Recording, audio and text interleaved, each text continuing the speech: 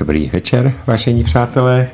Dnešním hostem studia Beta Svobodného rádia je opět po nějakém čase spisovatelka, aktivistka Lenka Procházková.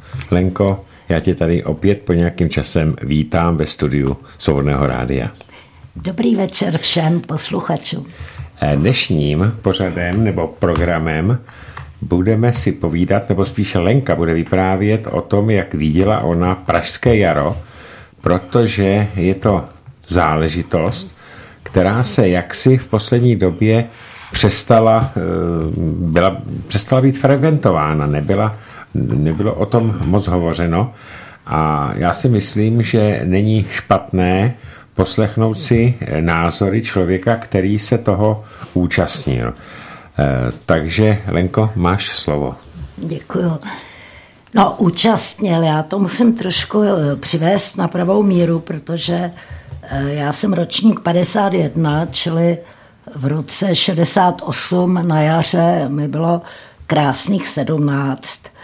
A musím říct, že celý život jsem litovala, celý pozdější život, že nejsem o dva roky starší, protože jsem v té době teprve byla na gymnáziu a nikoliv na, na vysoké škole, takže jsem nezažila tu atmosféru jako ti vysokoškoláci. Já ano.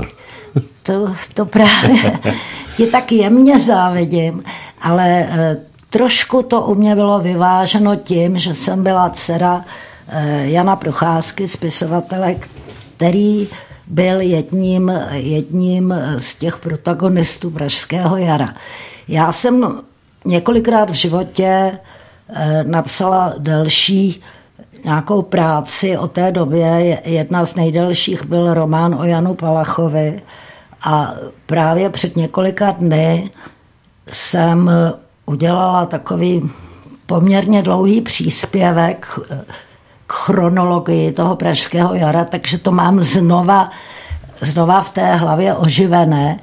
A dokonce v neděli u mě byla, bylo několik novinářů z Ruska, kteří připravují velké materiály k Pražskému jaru, takže jsem vytáhla ty dokumenty, fotky a tak, takže to mám osvěžené.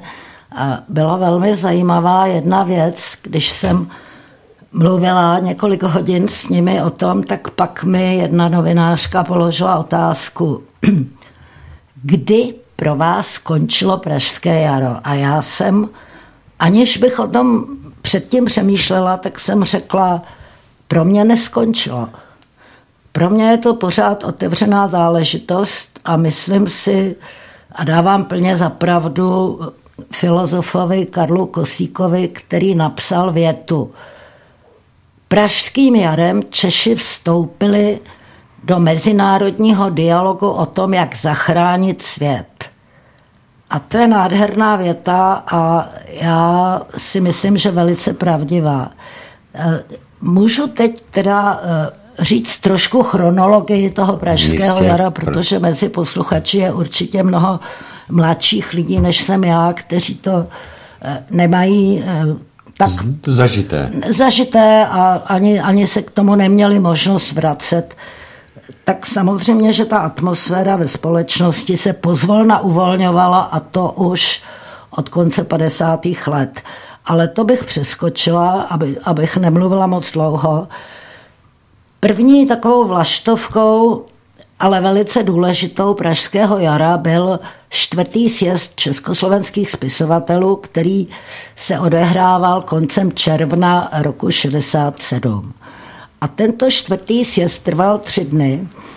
Já, protože táta byl místo předseda svazu spisovatelů, takže mám doma ty dokumenty a znova jsem si pročetla ty nádherné projevy, těch několika statečných autorů, kteří tam tehdy vystoupili. A nejlepší, nebo z mého hlediska samozřejmě nejdůležitější projev měl právě Karel Kosík. A ten jeho projev se jmenoval Rozum a svědomí. A vlastně tam mluvil o Janu Husovi, kterého ovšem nemenoval, ale říkal velký český intelektuál na konci středověku a teď tam popisuje to jeho rozhodování v té kostnici, kdy mu samozřejmě ten koncil nabízel, že se může zachránit, když uzná, že když koncil řekne, máš jenom jedno oko a on, i když má dvě, bude souhlasit s tím koncilem. A on říká, ne, já nemohu, protože můj rozum by, můj rozum ví, jak to je, moje kritické myšlení a moje svědomí nedovolí tu lež.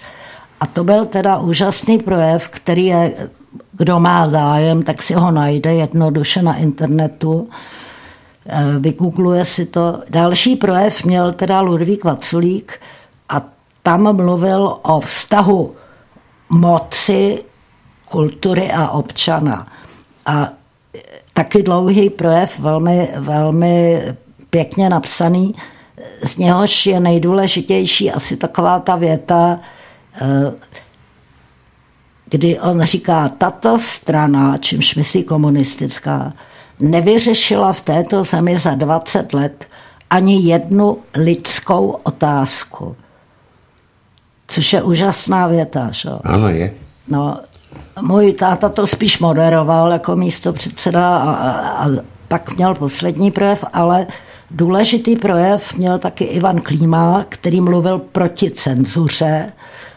A pak Pavel Kohout, kterému se povedlo několik dní předtím získat, eh, získat dopis Solženicinův, který psal eh, Sovětskému svazu spisovatelů a vytýkal jim tam, eh, že nejsou svobodní a že nejsou schopni jako otevřít ty otázky.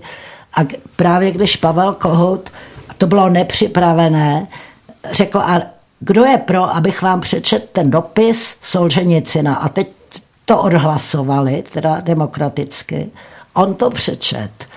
A v tu chvíli se tajemník pro kulturu z UV, který byl přítomný, pan Hendrich zvedl a řekl, všechno jste prohráli. A odešel jako, tak, jako schválně z toho udělal akci, že odchází tedy z toho sjezdu. No a ten sjezd skončil tím, eh, nebo výsledky jeho byly ty, že několik eh, těch řečníků bylo vyhozeno z komunistické strany, včetně Vaculíka, Klímy a tak dále. S jinými bylo zavedeno takzvané disciplinární řízení, ale především jim byl odebrán týdeník literární noviny, který patřil svazu spisovatelů a vlastně ta redakce nebyla závislá na ministerstvu kultury a více-méně tam nebyla cenzura samozřejmě měli určitou autocenzuru. Nicméně to byl takový velmi pokrokový týdeník eh, literárně, kulturně politický a měl obrovský náklad a v době největšího vzepětí měl téměř 300 tisíc, což přepočtu na obyvatele bylo nejvíc na světě. Hmm, hmm, hmm, Tento typ jako týdeníku. Tak to jim sebrali a udělali z toho nějaký věstník ministerstva kultury. A ty příspěvky, ty nádherné projevy tedy už nebyly uveřejněny. Jenomže Češi jsou národ velice zvídavý, takže se jim povedlo si je sehnat a rozepisovali je na strojích. Takže v průběhu několika týdnů každý, kdo se o to zajímal, měl možnost vědět, co tam říkali tito autoři a to byla praxe, která potom byla naplno rozvinuta až v tom samizdatu, že už si to ty lidi zapamatovali, jak to šířit. No a tento sjezd tedy skončil tím vyhazováním. Můj táta, který byl v té době kandidát UV, tak byl vyhozen i z této funkce a on to cítil jako veliké osvobození. Hmm, hmm, a když hmm. se to dověděl, tak, tak šel domů a stavil se v několika hospůdkách a přišel domů, kde čekali vyděšení kamarádi a on v takové radostné náladě si s nima připil ještě na tu svobodu. No, tak to byla první vlaštovka a potom eh, koncem října, opravdu 31. října, došlo eh, k takzvaným strahovským událostem.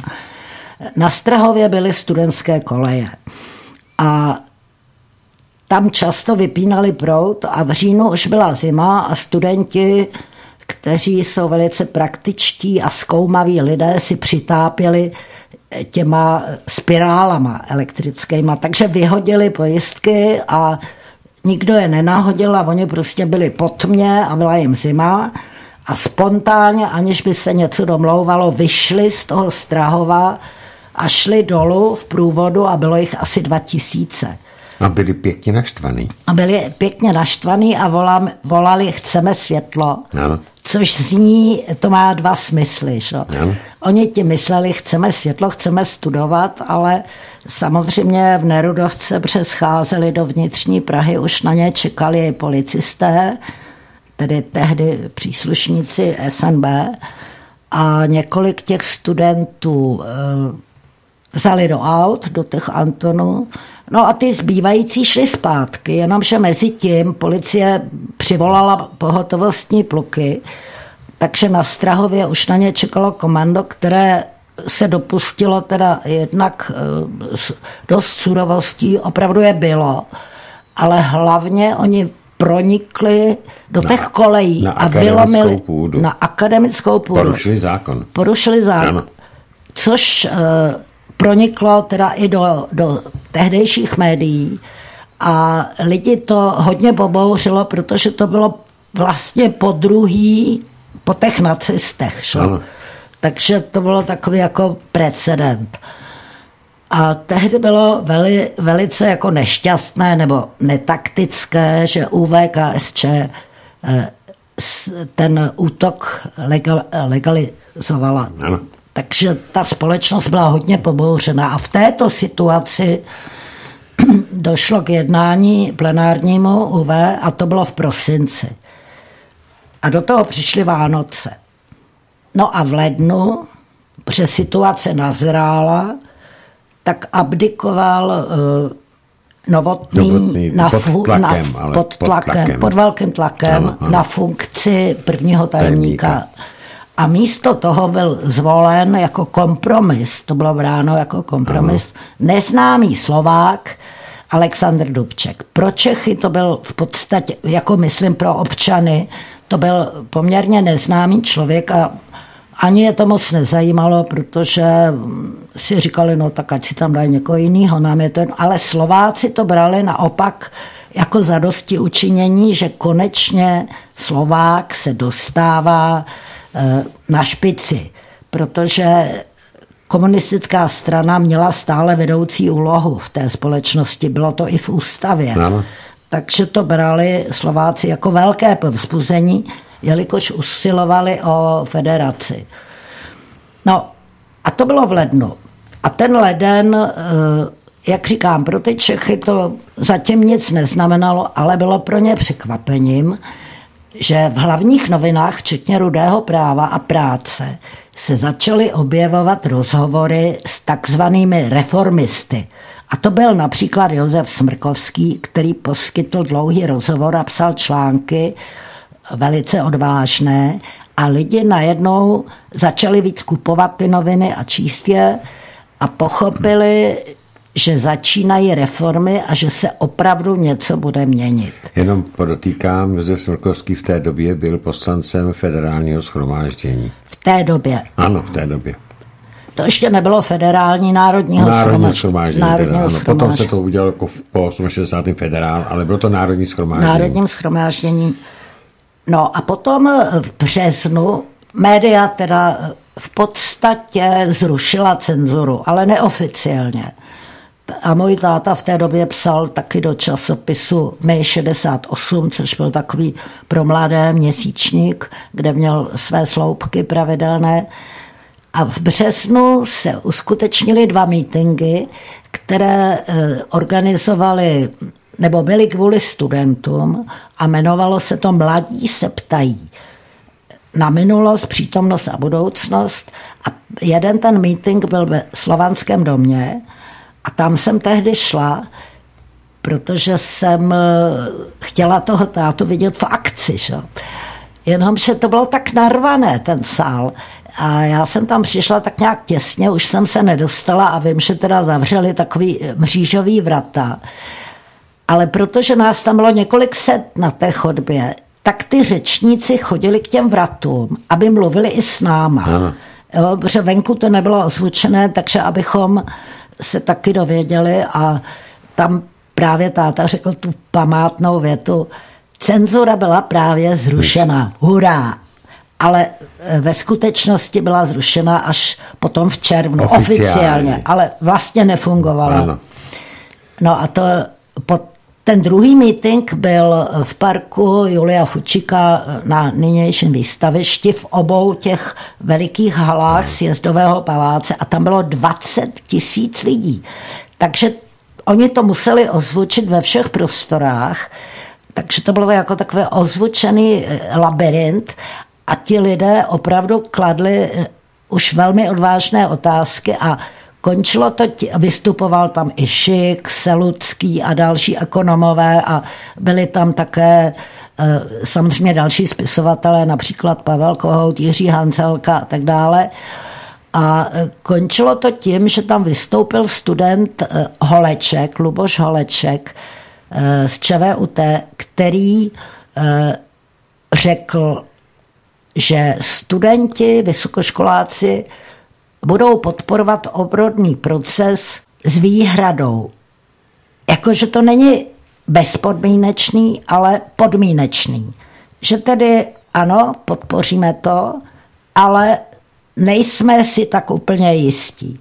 No a ten druhý meeting už byl přenášený rozhlasem a dokonce pak uh, udělali z toho monitoring i rudé právo, což je nepředstavitelné pro nás dneska. Eh, kteří to vidíme schematicky, ale opravdu v té době jakoby už to bylo proražení té hráze.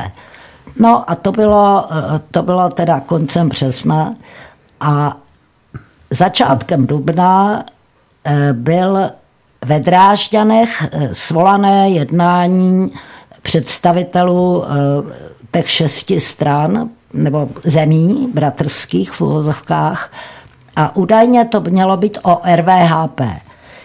A česká dele, československá delegace tam jela ve složení Dubček, Černík, budoucí premiér, v té době ještě nebyl, a Koldr a ještě někdo, to čtvrté jméno jsem ne, ne, nezjistila, jelikož e, některé ty dokumenty byly odtajněné a tam to nebylo napsané v tomhle dokumentu.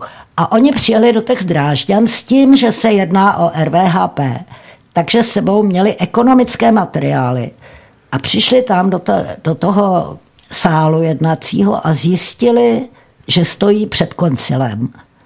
Že oni jsou obžalovaní z kontrarevoluce už v Dubnu. A že stojí před koncilem. A zahajoval to teda Brešně, nebo Holbricht, který eh, byl no, hostitel, Holbricht, který byl hostitel. A bylo řečeno na začátku, že toto jednání je interní a nebude z něho pořizován žádný stenografický záznam. Ale samozřejmě tam byly mikrofony v tom sále, takže to měli nahrané a pak to, pak to bylo přepsané, takže dneska je to na internetu a můžete si to vyhledat. A ten záznam z toho jednání, které trvalo celý den, má 41 stran.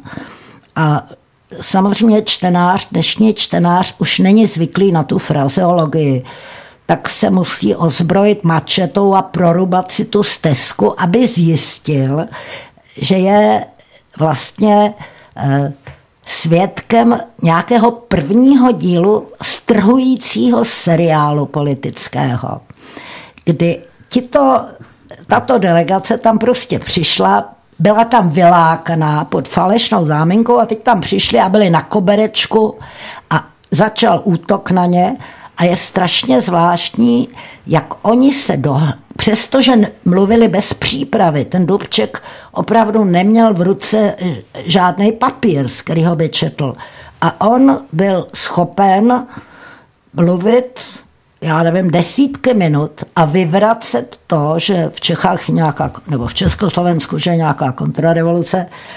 No a Černík, který byl poprvé na takovém jako mezinárodním summitu, tak přesto, že byl nováček eh, v těchto kruzích, tak se mu povedl jeden úplně husarský kousek. A já to úplně vidím, protože jsem schopna fabulovat. A on zřejmě pod nějakou záminkou odešel z té místnosti a vrátil se a přerušil řeč toho Ulbrichta, který nadával na Smrkovského a na to, že v Die Welt eh, vyšel zase nějaký rozhovor. On říkal, promiňte soudruzi, ale právě jsem se dověděl, že západ, západní novináři zjistili, že jsme odjeli do Drážďan, takže my budeme muset vypracovat nějaký komuniké pro Četku, aby to uveřejnila. A teď se začali zabývat tím, co teda řeknou té Četce. A první verze toho komuniké, která není v tom záznamu, musela být strašlivá, protože dokonce Kolder, který byl jako konzervativní, ano, ano. řekl, tak tohle, s tímhle nemůžeme přijet do Prahy. To je jako kdybychom dostali klackem. Eh, za tohle nás odstřelí. My nemůžeme říct, jak bratrské národy smýšlí o vývoji obrodného procesu. Takže oni pod vlivem toho koldra přepracovali to komuniké, kde už nebylo nic o té kontrarevoluci. Bylo to jenom blabla. No, takže oni se vrátili do Prahy, že, do Čech a ta veřejnost nevěděla, že byli poprvé teda na koberečku a pak přišel první máj. Já bych ještě do toho Lenko vstoupil. No. A sice vrátil bych se k těm strahovským kolejím, protože ono to tím neskončilo. Ne, oni založili pak... Ty studáci si tam založili v podstatě z organizaci. Odešli z ČSM a udělali si vlastní. A dělali se tam meetingy, dělali se tam happeningy. Ano. A byli, ne, já jsem tam olikrát chodil. Jasně. Takže eh, tam jsme byli, když se to dělo, tak jsme byli hlídaní těma eh, kordonama policistů a bylo tam spousta tajných, kteří se tam snažili vecpat. Tak jenom, že tím zhasnutím ty, ty elektriky a tím se naopak rozsvítilo. tak se rozsvítilo v hlavách mnoha Přesně. studentů a ti studenti eh, byli velice bojovně, protože jsme byli mladí, tak jsme byli velice bojovně zalažení, tak eh, to v podstatě Eh, aby si posluchači nemysleli, že tím ti študáci skončili. Ne, ne, ne, ne, naopak. naopak. A ono to se to rozšiřovalo. Z fakulty na fakultu. Eh, ano. Začalo to na filozofii, kde udělali ten výbor šo, a akademickou radu a tak dále a přeskakovalo to z jedné školy na druhou. druhou ano. Takže to, to, to máš pravdu, to jsem ráda, že to jsme... To zažil. No, právě a proto já litu, že jsem u toho nebyla. Protože já jsem jenom na té střední škole, tak Já tam... jsem na té koleji nebydlel, já jsem dojížděl, ale když jsme věděli, že se tam něco děje, tak, tak jsme tam zůstávali. zůstali a samozřejmě jsme se tam vždycky někde vyspali, že jo? Ano, to je jasný. No, no, no, no. Pokud možno v té ženské části, že jo? No, dobře. No a pak přišel první máj tak. 68 a to bylo nádherné, protože eh, starší posluchači si asi pamatují, že první máje byly takové ty manifestace jako z donucení a že to všechno bylo kašírované. Tentokrát to bylo spontánní. Ano. A ten průvod měl víc než 300 tisíc lidí a trval pět hodin.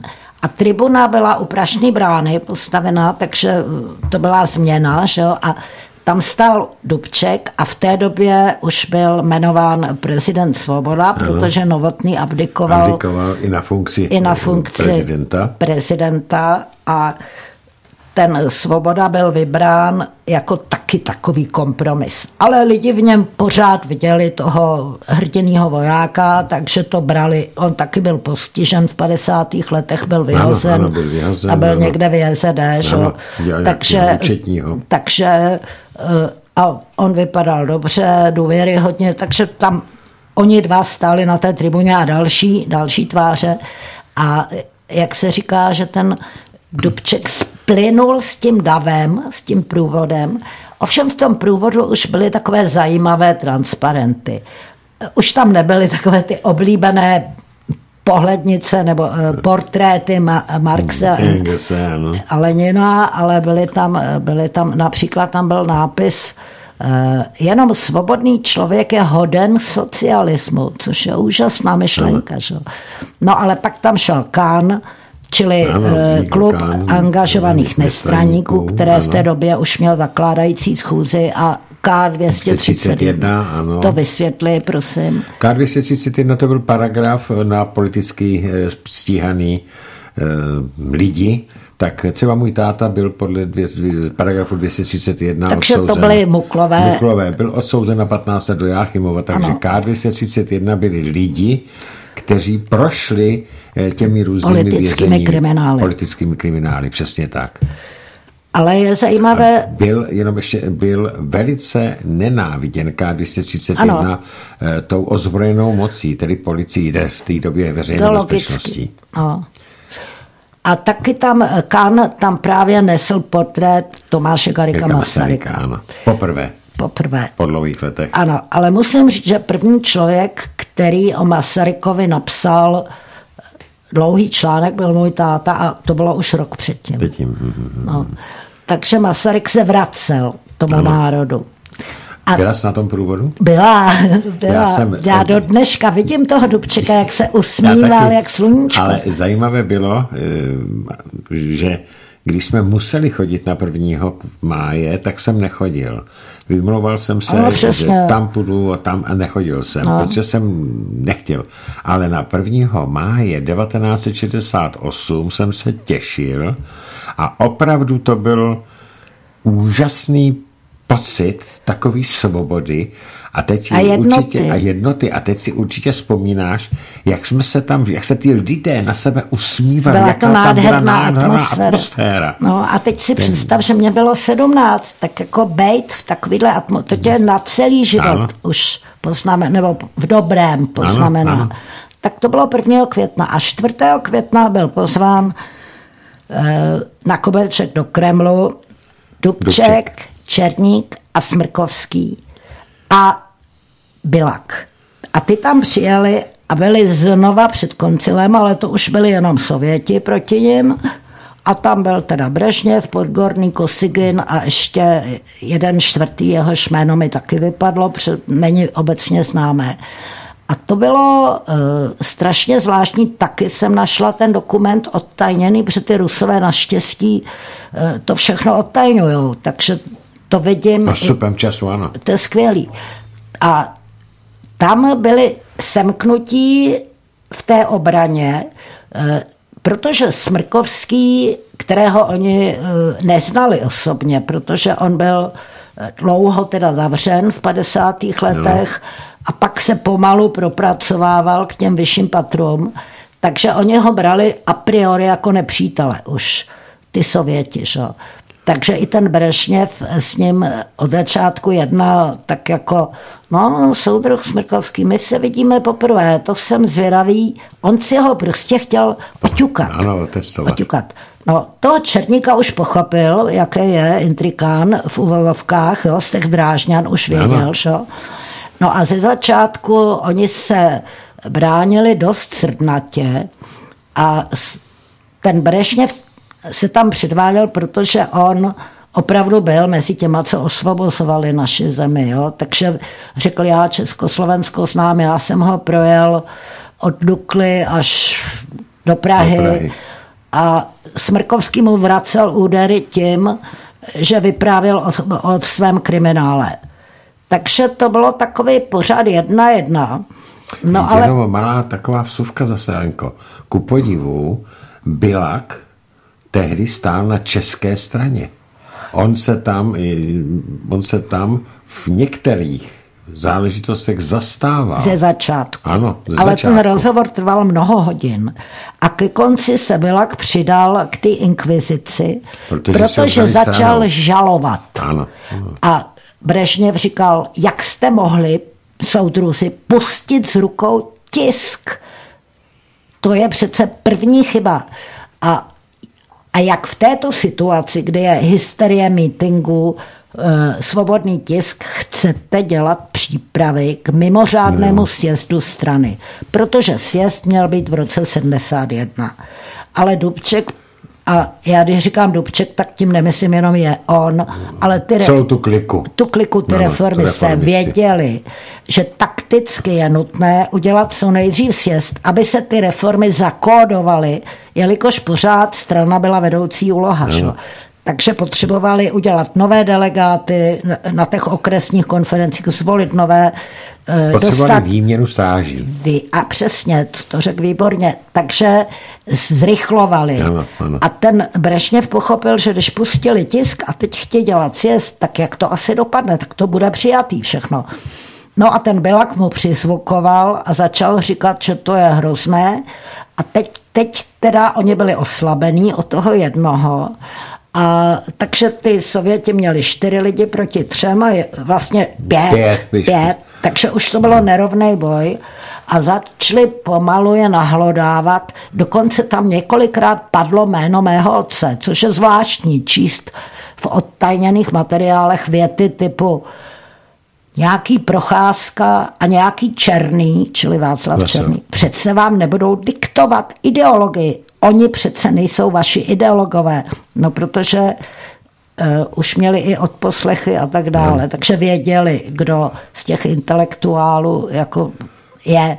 Mezi... Nehledě na to, že tajná policie stále pracovala stále pro pracovala. establishment, dneska by no, se řeklo. Dalo to by znamená se říct. pro ně. I když došlo k výměně ministra vnitra. Došlo, že... ale ty ty podřízení složky, ty struktury to se pomalu, a no. pomalu no, se to měnilo. No ono no. právě šlo o to vyměnit je díky Přesně, tomu sjezdu. Ano, ale co Takže, nejrychlejší on, ten Brešněv a, a ty další, že Kosigina Podgorný, eh, říkali tomu Dubčekovi, eh, my stojíme za váma a všechny další, dalších pět stran stojí pevně za váma. Vy nemůžete v této situaci dělat reformy, natož nějaký sjezd. To nelze.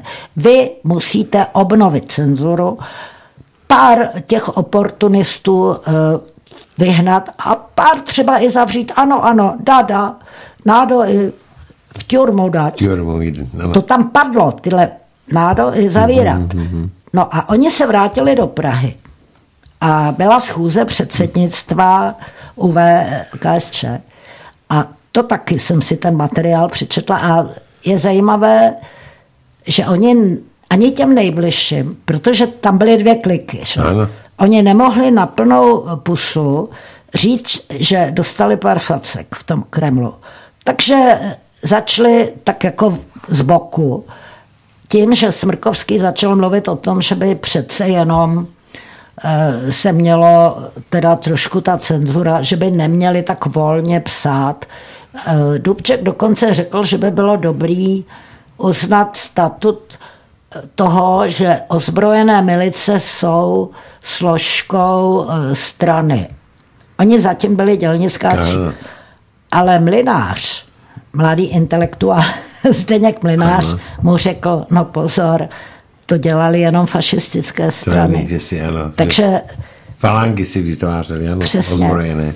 Jo, že ten Dubček uh, jenom opakoval, co mu řekl Brežněv, mm-hmm. ale neznal tu historii natolik, mm. aby byl schopen reagovat v tom Kremlu, kdyby tohle řekl, řekl, to dělali fašisti, ano. tak Brežněv musí zmlknout. Ano. Ano.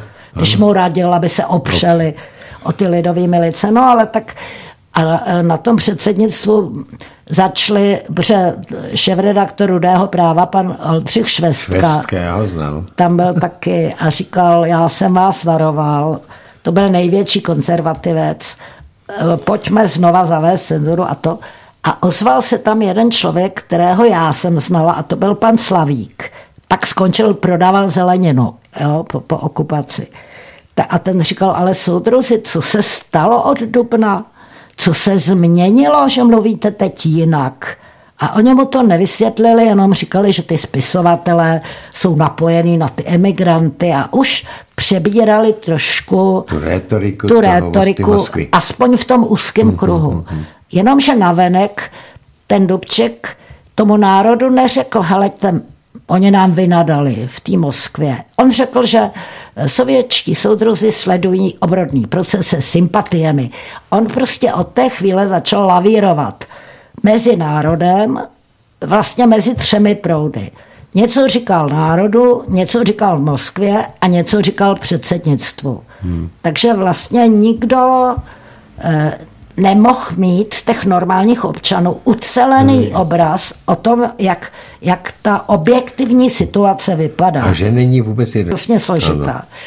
Takže eh, jo, a toho, do toho oni schválili ten akční program KSČ, což je vlastně jediný takový velký výchozí úspěch z toho pražského jara. Já, ano.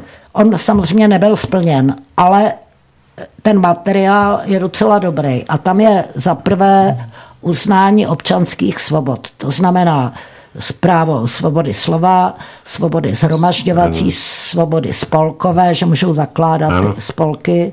V té době se probudila sociální demokracie, demokracie. a chtěla se ustanovit a svoboda výjezdu do zahraničí. Tak tyhle ty občanské práva. Pak tam byl ekonomické reformy od Tyšika, které v podstatě eh, Předtím bylo plánované hospodáření, přísně plán, a teď to měla být kombinace mezi plánovaným hospodářstvím a tržním s tím, že ty podniky budou záviset na poptávce a tak dále, že bude že bude povoleno drobné hospodáření, že bude směnitelnost koruny a ještě, ještě no, Přijímání zahraničních úvěrů. Jo, jo, přijímání zahraničních úvěrů, aby se průmysl zmodernizoval a tak dále.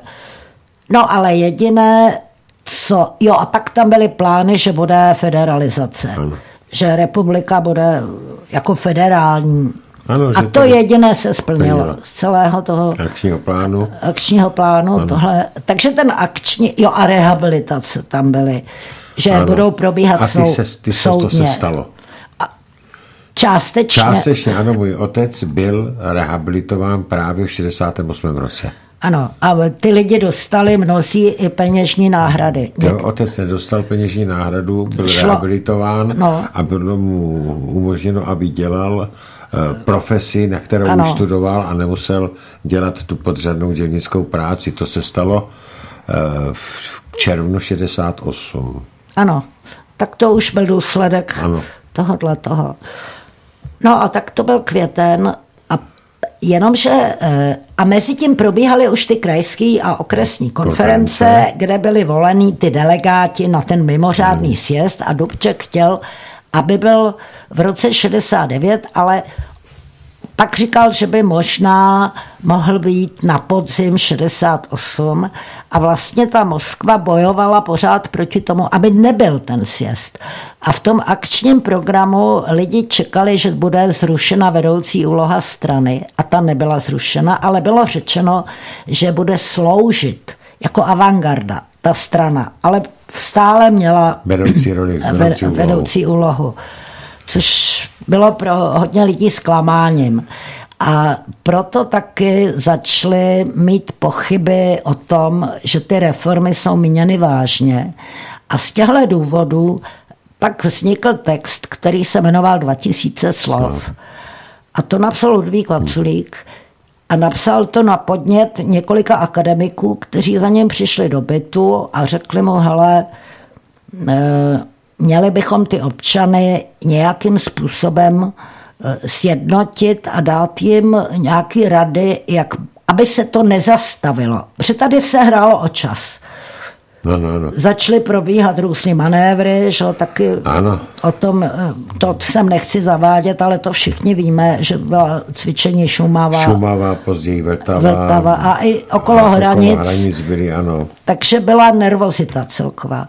A do toho vyšel text 2000 slov a to bylo 27. června a vyšlo to současně ve třech celoplošných novinách, denících a v literárních Tehdy už byly obnovené ano. v literárních ano. listech. Ano, Takže to uh, přečetlo, řekněme, dva miliony lidí přímo a jejich rodinní příslušníci, čili všichni v podstatě.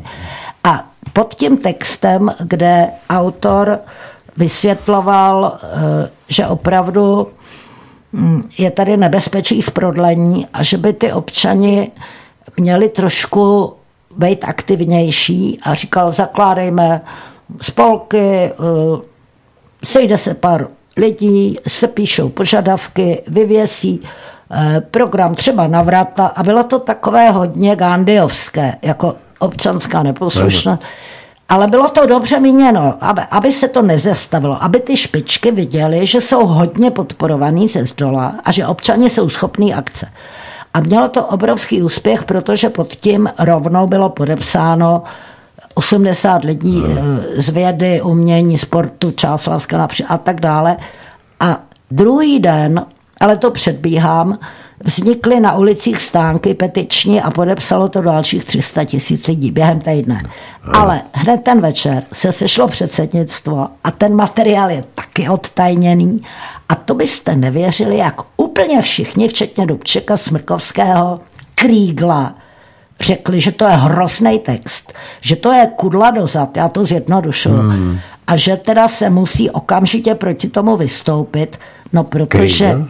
Ano, i to jsem nevěděl. No to já teda ti hmm, říkám hmm, a hmm. je to tam, jinak bych hmm. tomu nevěřila, jasně, viděla jasně. jsem to. A i Mlinář, všichni. A do toho volal Brežněv tomu Dubčekovi v průběhu té večerní schůze a říkal, no tak co chceš, když si zrušil cenzuru, tak se nediv, že nějaký vaculík bude tam lidem říkat, aby šli do ulic, ale on jim říkal něco jiného. Že? Ano, on jim říkal. No. Takže oni řekli, a teď se tam hádali, co mají dělat. Tak říkali, Dobček promluví zítra v televizi, musí to všechno uvést na pravou míru. Mezi tím vydali dálnopisem těm okresním výborům, že to odmítají ten text. No jo, jenomže do druhého dne to podepsali tisíce lidí a Dubček, on, jeho povaha je taková jako on nebyl dorostlý na ten velký úkol. Tím ho nechci kritizovat, to je konstatování. A on nedokázal tomu národu, který byl nadšený, že jim konečně někdo jako tady řekl, co, co můžou dělat, on jim nemohl říct, nedělejte to. Takže on o tom vůbec nemluvil. Takže to jeho vystoupení bylo takový blé. Nemastný, neslaný, no. ano. Takže ta Moskva, co si asi mohla myslet. A pak přicházeli, pak eh, je pozvali do Varšavy. To byl dopis pěti. To byl začátek července. To byla reakce na 2000 Ty slov, kde jim pět bratrských stran vytýkalo, že teda dovolili kontrarevoluci, aby, že jí otevřeli dveře a že platformou se staly literární listy a ten text, že se stal programem té kontrarevoluce. To je no, zajímavé, no. že já, když jsem to před deseti lety dělala přednášku a pozvala jsem tam ještě Vaculíka a probírali, že on si to neuvědomoval vůbec, mm, že nebyly ještě odtajněný tyhle, že on říkal, no já jsem to napsal, protože oni mi řekli, co mám napsat. A já jsem to hodil do fazóny, takzvaně, jo, mm-hmm. že tomu dal tu šťávu. Taky mlinář říkal, no on je to dobře napsaný text, on si to každý s gustem přečte, protože to bylo srozumitelným ano. bez těch frází příšerných. Takže každý tomu rozuměl, že prostě nám jde o to zůstat svobodně a pokračovat a že, že ano, a čele je ta strana, ale ať dělá ten národní program. Co? Ano, a dělá pro lidi tak, jak by měla dělat. Tak, jak ano. by měla dělat. Ano. Takže e, ta Varšava, že dopis pěti z Varšavy, to si pamatuju, že to bylo ve všech novinách, protože ta strana konečně pochopila, že to musí říkat už těm občanům. Takže ten kritický dopis otiskli a já si pamatuju, jak přišel Pavel Kohout a držel to a říkal, no konečně. Jakože ten národ slyšel, že je odsuzovaný a podezíraný jako z kontrarevoluce, což nikdo tak nevnímal, že by to byla kontra... Ano, nikdo, nikdo. To byla cesta naopak dál, ano. jako k demokratickému socialismu. Jak my jsme říkali, je to cesta k svobodě za světlem. Tak. Takže se hrozně naštvali. A teď byla schůze předsednictva a oni se naštvali taky což bylo skvělý. A Mlinář dokonce říkal, no soudruzi, já bych odpověděl ofenzivně. A zřejmě tu odpověď psal on, protože byla velmi inteligentní, hmm. taky jak do hledání. A oni je pozvali do, na kobereček do té Varšavy a oni tam nejeli a místo toho jim dopisem odpověděli, což je nebývalý. Jo, když nebývalá odvaha. Nebývalá odvaha ano, ano. řešit to písemně. ano. Ale tak my jsme národ písmáku. Jo? Mně se to líbí, jak to odpovídá ty naší historii. A ten dopis konstatoval, tady žádná kontrarevoluce není, naopak národ se pevně semkl, všichni se zajímají o politiku, ten text 2000 slov vůbec není kontrarevoluční, to nás neštvěte, a úplně změnili jako ten přístup, že pochopili, že, že útok je nejlepší obrana. A dokonce jim tam ten, já předpokládám, že autor byl mlinář, po, podle toho, jak znám jeho texty, v závěru jim tam odcitoval jejich vlastní prohlášení z 50. let o tom, že svazek socialistických států samozřejmě je založen na absolutní suverenitě každého státu, co se týče vnitřní i zahraniční politiky, a že jsou spojeni pouze RVHP a tou teda Varšavskou. Jo, to bylo v době, kdy už byla Varšavská. No, takže to jim tam odcitovali v závěru a já jsem si říkala, tak klobouk dolů teda. No jo, no. Takže tam bylo dlouhé ticho. Pět stran, jako byly samozřejmě útoky, třeba v sovětských novinách psali o mým otci článek, Procházkovi ujal vlak do emigrace a takovýhle ty, mm, mm, mm, což ho samozřejmě mrzelo, protože ty autory znal. Mm. Oni využívali známí autory, že to bylo jako fackování eh, autorů mezi sebou, no. co, což samozřejmě špatně neslo, jo. Ale eh, no a potom následovala Černá nad Tisou. Rusové chtěli, já říkám Rusové, Sověti, aby naše delegace přijela si opět na kobereček do jakéhokoliv sovětského města a oni řekli ne. Takže setkání se odehrávalo na překladovém nádraží v Černé Pričope neboli nad Tisou. Já jsem tam pak byla. Tehdy to bylo obrovské nádraží, protože my jsme měli tu úzkorozchodnou Oni mají širokorozchodnou. ty vagóny se, se museli překládat. Ano. A na tom nádra, a to trvalo asi čtyři dny, koncem července, začátkem srpna. A oni tam přijeli, samozřejmě naši letěli někam do Košic zřejmě letadlem a pak jeli vlakem. A ty Rusové přijeli z Ukrajiny, že z té sovětské strany, salonním vlakem a teď ty dva vlaky zaparkovali na tom překladovém nádraží, dovedete si, to by byl film. A oni neměli kde se scházet, takže v místní jídelně ROH nebo prostě tak železničářů v takovém tom sále nevybaveným, sektorovým, jo, neuvěřitelný, tyhle lidi. A ty fotky byly černobílé a některý měli z těch Sovětů klobouky a já jsem najednou viděla, že to je schůzka mafiánů. že oni se prostě k motři přišli domluvit. A některé, a tam už se hádali hodně, tam byl urážen Kriegel, jako nějaký žid z Haliče nám tady nebude říkat o svobodě slova. A jo, tyhle ty, a tak ten Brežněv se zavřel s tím Dubčekem do toho sovětského vlaku a několik hodin bez tlumočníka, protože Dubček, on, tam on, tam, on tam žil a jako žil, dítě, no, takže uměl dobře, o němu říkali Sašo. Ano. Aleksandr Tře Stěpanovič mu říkali, tak e, tam spolu mluvili sami. A to bylo, řekněme, 2. nebo 1. srpna. A odešli a naši tvrdili, že vyhráli zase doma, že to je v OK. Hmm protože národ předtím schromáždil milion podpisů pod výzvou jsme s vámi, buďte s námi a nevzdejte se. A oni se nemohli vzdát. Oni nemohli.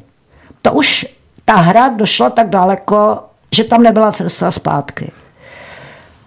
A já si myslím, že ten Brežněv, že se mu nechtělo do té invaze že ho dost tlačili ty Poláci, samozřejmě i, i ty Němci, Němci východní, kteří si chtěli opět vkročit po prohrané válce na naše území. Já to celkem chápu psychologicky.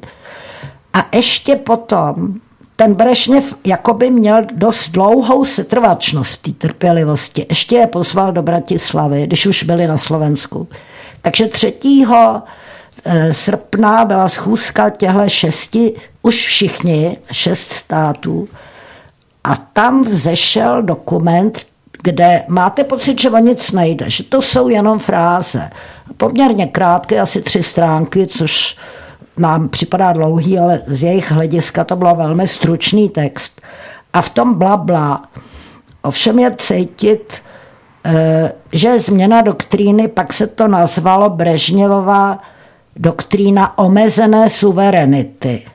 A tam jsou takové ty půlvěty o tom, že když je ohrožen socialismus v jedné zemi, je tak se ohrožen. zavazují ty ostatní státy, že to nedovolí, ano. že mu přijdou pomoct. Takže už tam, ale oni jakoby nevěděli, že podepsali Ortel. Mně to připadá, že oni už byli těma frázema tak eh, hluchý, jo, k tomu, že, že to nerozkódovali. Mm-hmm. No a... Ale on se tam v té Bratislavě taky, co já vím, uh, Dubček to s, s Brežněvem taky v soukromém salonku pohádal a tam onen eh, Brežněv řekl tu památnou větu. Nakonec je to vaše dělo. To řekl předtím. To řekl předtím. To řekl, když odstavovali Novotního. To, to no, je, to je myslím, že to bylo ne, ne, ne, ne, vůbec.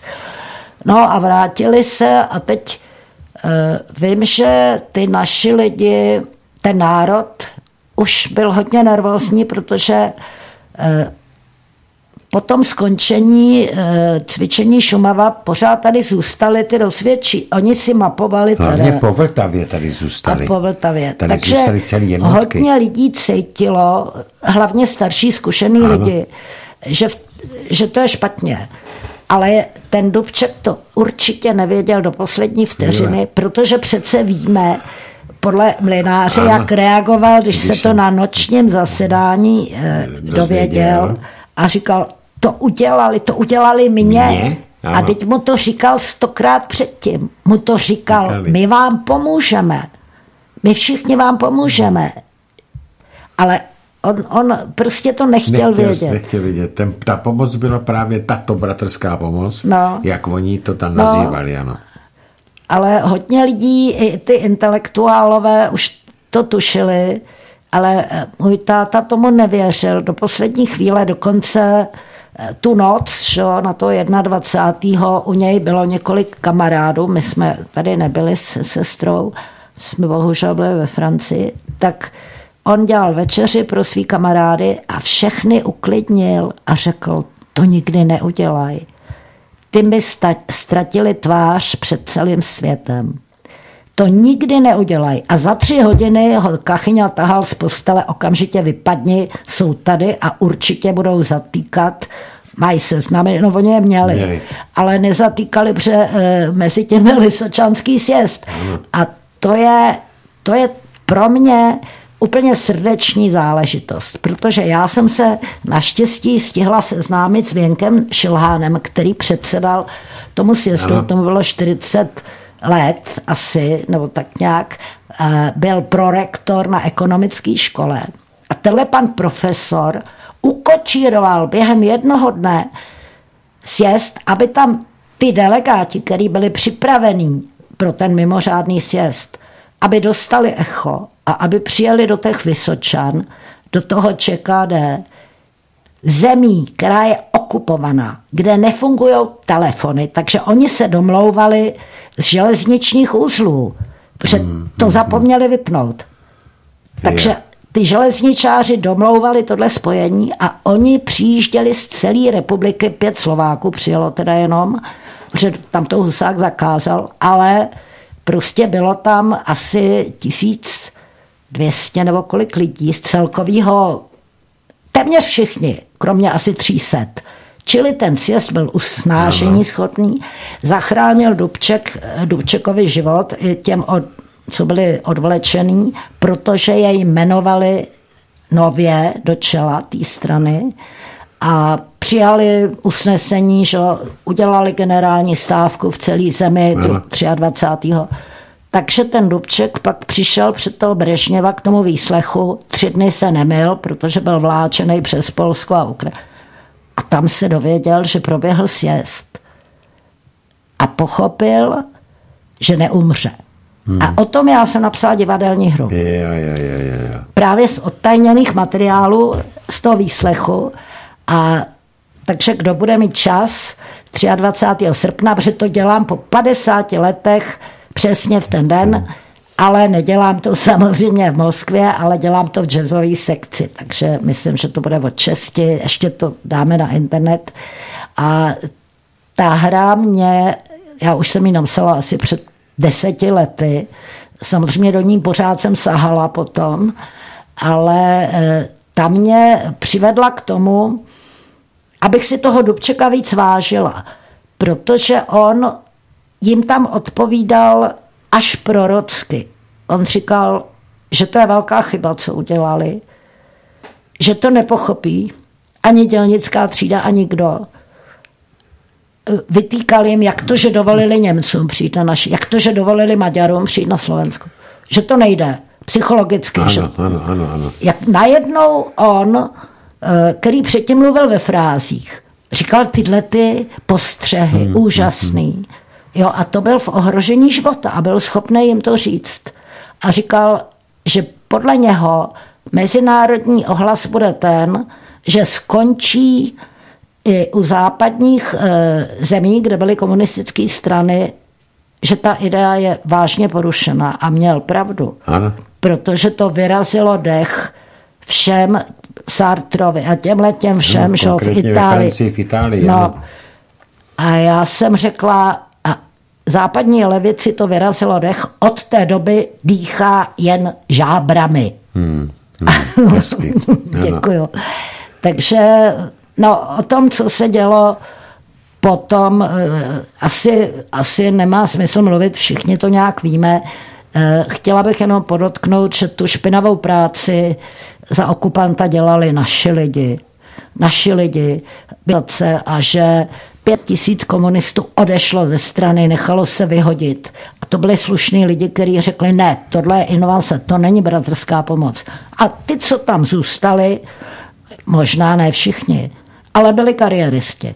Většina z nich, ano. Většina z nich, někdo třeba, ne, nechci to tady nějak zjednodušovat, nebylo to jednoduché. Takhle oni někteří eh, z těch komunistů S tím souhlasili. s tím souhlasili z jednoho prostého důvodu, protože říkali, ano, tady se to chtělo změnit v něco, co je tady teď.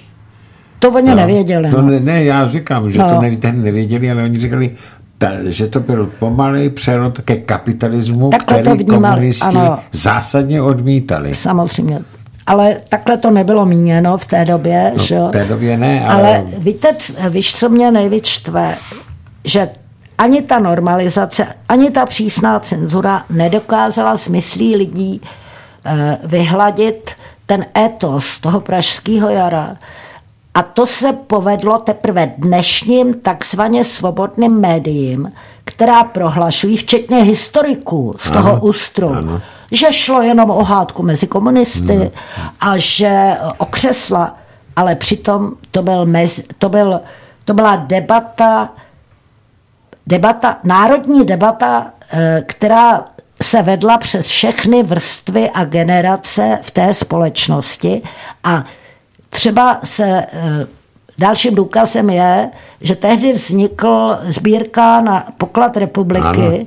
Eh, která zahrnovala, já nevím, kolik miliard korun ve Ano, výtěžku, ano, ano. kolik desítek kilo zlata a špek. Lidé se brali. Lidé se brali pod, Ano. podrobných. Ano.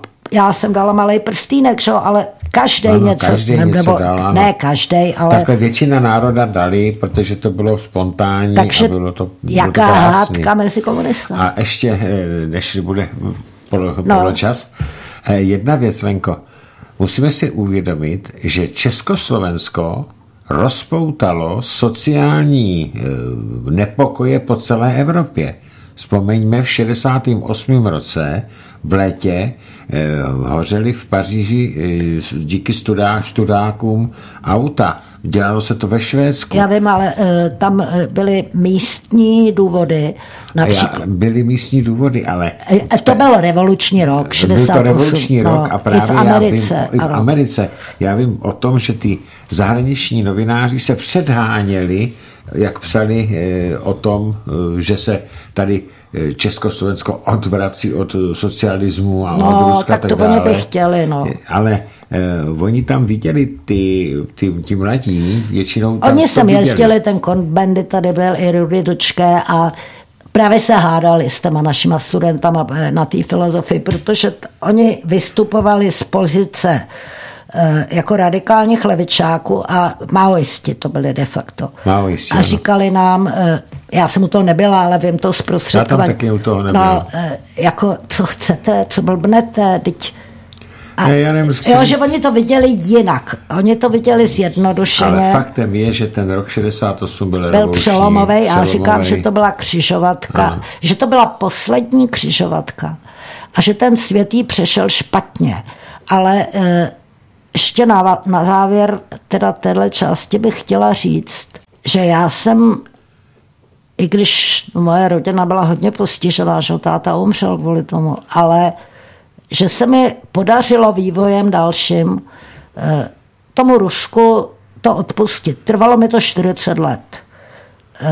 Ten zázrak se mi povedl díky jednomu sovětskému vojákovi, který byl na mý přednášce v Moskvě, kde jsem mluvila o invazi a on před celým sálem, kde byli studenti a novináři, vstál a říkal, já jsem byl jeden z těch vojáků, kteří přijeli 21. do Prahy a bylo mi 20 let. Tak jako Janu Palachovi můžete mi dnes odpustit. A já jsem řekla, omluva se přijímá. A podali jsme si ruce a pro mě to byl okamžik očisty, pro něj taky. Jo, ale já vím, že tohle nemůže zažít každý, ale e, já jsem hrozně vděčná, že jsem to zažila, ale taky díky tomu, že se tím tématem zabývám, že jsem se ocitla v té místnosti, kde, ano, ano, ano. Jo, že to všechno je odměna. A e, myslím si, že to Rusko, e, dobře, tohle je minulost, udělali chybu, udělali chybu, pořád si to myslím, ale oni dneska jsou v situaci, kdy tu chybu napraví. Protože ten čep, kterým se drží e, ten světový mír, oni mají teď v rukou. A oni, je to bude stát hodně ještě, ale měli bychom my to teď pochopit, Přesně. že oni jsou na řadě. Tehdy jsme to byli my, ale jako malý národ, malý stát bez opory nedokáže.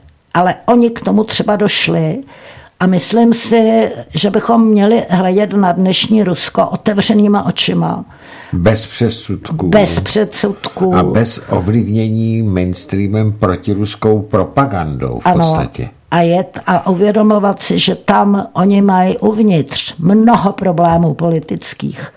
Že to není jednoduchý.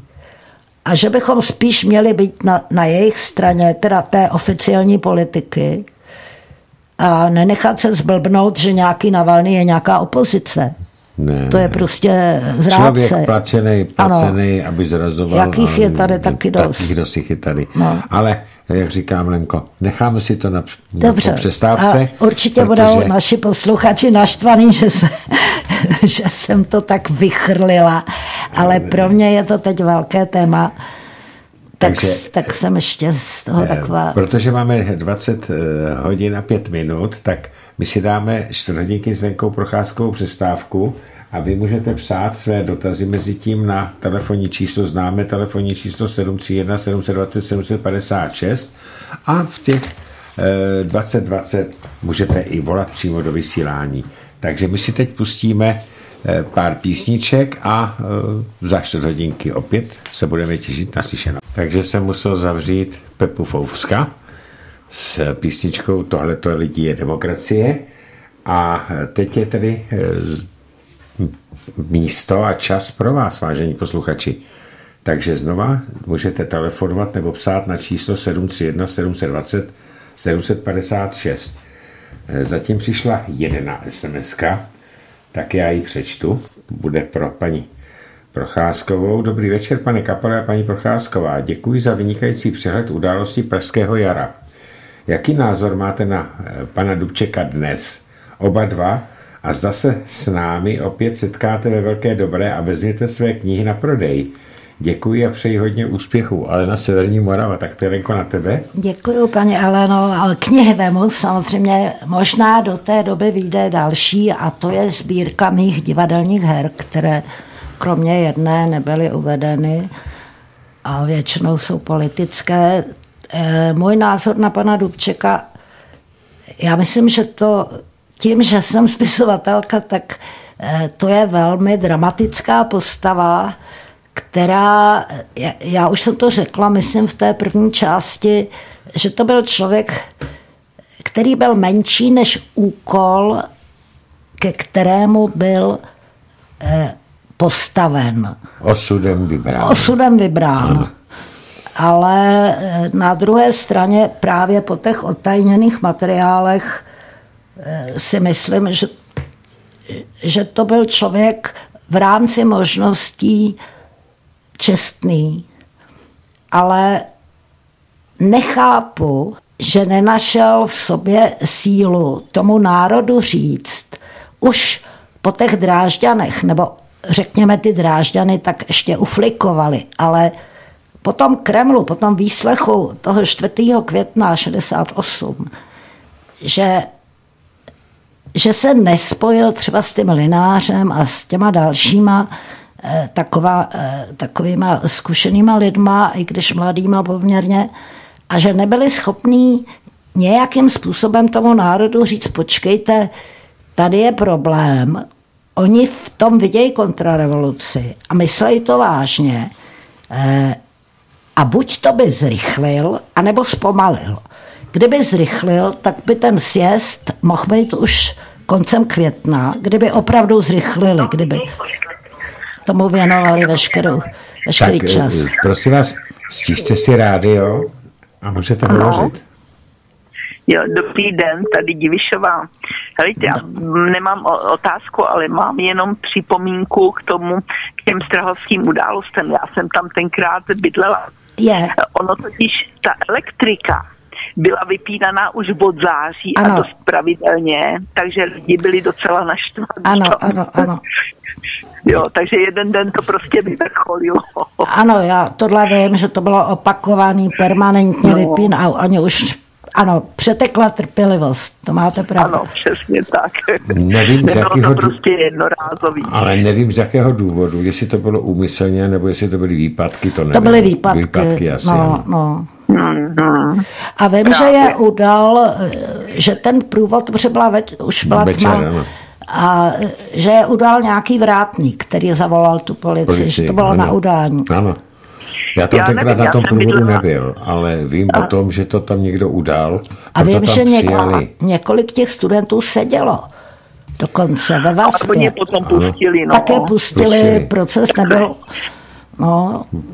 Ale vím, že z našeho bloku z osmičky je vrátná a ty policajty vyhodila že to je dívčí blok a že to je dívčí kolej, tak tam nemají co dělat. Úžasně. To se mi líbí tyhle ty reakce. No. Tak to, já jsem rád, že to slyšíte, teda, že to říkáte, protože já jsem na těch kolích nebydlel, já jsem tam jenom chodil občas. Já jsem dojížděl do školy z nedalekého města. A, ale když se tam potom dělali ty, ty happeningy, dnes dnešním hmm, výrazivem, no. když se tam dělali ty, my jsme tomu říkali mejdany, takový, tak tam jsem občas býval a občas jsme tam vykřikovali nějaká ta hesla, že chceme světlo a že chceme důstojný ano. život. Já to vím.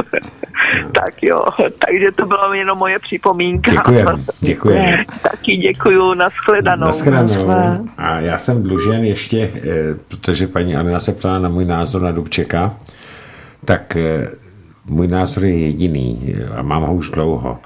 Aleksandr Dubček byl šíleně naivní protože on věřil Rusům, že nesáhnou ke krajnímu opatření.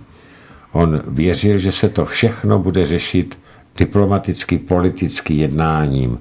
Ale proto on byl na mrtvici a v tom nevím, já jsem se s ním ne- nebavil nikdy, ani jsem se k němu blízko nedostal, ale vycházím z knihy, kterou napsal právě Vladimír Mlinář, a ten u toho byl, když toho 21. srpna Zdeněk. Zdeněk, pardon, Vladimír, to je syn, který byl nepovedený. nepovedený. A Zdeněk Mlinář, který tam psal, že e, Dubček byl téměř na mrtvici a říkal, tohle to udělali mě. No, ale takhle naivní byl i můj táta, ten taky říkal, to oni neudělají. No právě. Takže máme další telefonát. Dobrý večer. Dobrý večer, pane Kapale a paní Porcházková, posluchač Pavel České Budějovice. Já vás zdravím. Dobrý večer. Já bych měl taky tři otázky, kratoučky, jestli můžu. Ano. Eh, Z hlediska časového odstupu, eh, jak byste hodnotila, jestli vlastně ten 68. rok byl pro nás eh, dobrem nebo zlem, protože i pan Vladimír Kapal se tady zmiňoval v jednom pořadu, že vlastně s odstupem to hodnotí jako, že to bylo de facto dobře, protože už by jsme, když by to tenkrát dopadlo teda tím druhým způsobem, že měli tehdy uh, už rozjetý plány na to, jak to tady bude všechno privatizovaný a potom, že by byla, uh, že by jsme de facto byli teď už islamizovaný, jako jsou v Německu. Jo. Uh, pak další, zarazilo mě ta informace o tom, že ten Brežněv tehdy váhal s vysláním vojsk do té bratrské pomoci a že ho k tomu donutili Němci a Maďaři, ale... A Bulhaři. A Bulhaři. No a teď já jsem si, jste říkala, že bylo ještě před tou invazí podepsán dokument o té bratrské pomoci. A tam museli přece Rusové už tehdy to tam e, jako naimplantovali do toho dokumentu e, počítat s tím, že bude tato invaze e, dě, udělaná. To bylo, to bylo spíš takové provolání. A oni mysleli o té pomoci, že spíš politickou To- pomoc, no, než, to- to než bylo- pomoc vojenskou. Tou frazeologií, kde, kde z toho jako teprve dnes se z toho dělá Brežněvova doktrína omezené suverenity, to říkají politologové zpětně. Ale eh, když ten dokument čtete, tak vlastně se brodíte nějakým houpavým bahnem a nevnímáte, o co jde. Ale samozřejmě oni byli takový ty eh, šikulkové, zna- vyznali se v tom, takže tím pak mohli mávat. Ano, a já jsem, já jsem opravdu přesvědčen, protože já jsem se dostal po 90. roce k něm materiálům, které, hm, těm ekonomickým materiálům pana Šika a k politickým prohlášením pana Goldštikra a eh, mám takovou, on to tam nebylo explicitně napsané, ale byl tam vstup cizího kapitálu, privatizace tam byla, eh, byla tam vytvoření burzy, eh, bylo tam, bylo tam kompatibilno nebo konvertibilita měny, což znamená, že se musí pustit z kapitál. A protože víme, jakým způsobem ten kapitál a kapitalismus funguje, tak by to mohlo dopadnout, ale nikdo nevíme, jak to dopadne. Ale já jsem došel k názoru, když jsem si to přečetl, že tím, že jsem přišli 21. srpna a já je za to do morku kostí nenáviděl, a dělal jsem všechno proti tomu, proti, proti vůbec establishmentu jsou te, tehdejšímu, takže fakticky nám možná zachránili 20 let klidného života. No. Já jsem o tom přesvědčen.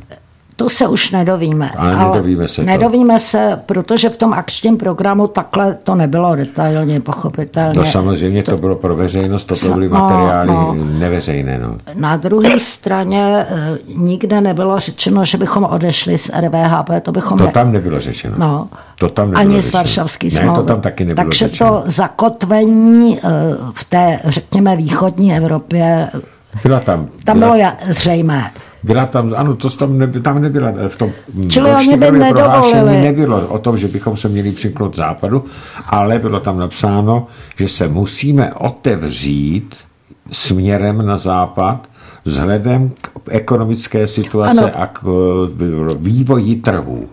A když jsem to četl mezi řádkama, tak jsem si říkal, to stéž bylo řečeno po 89. roce a jak to dopadlo.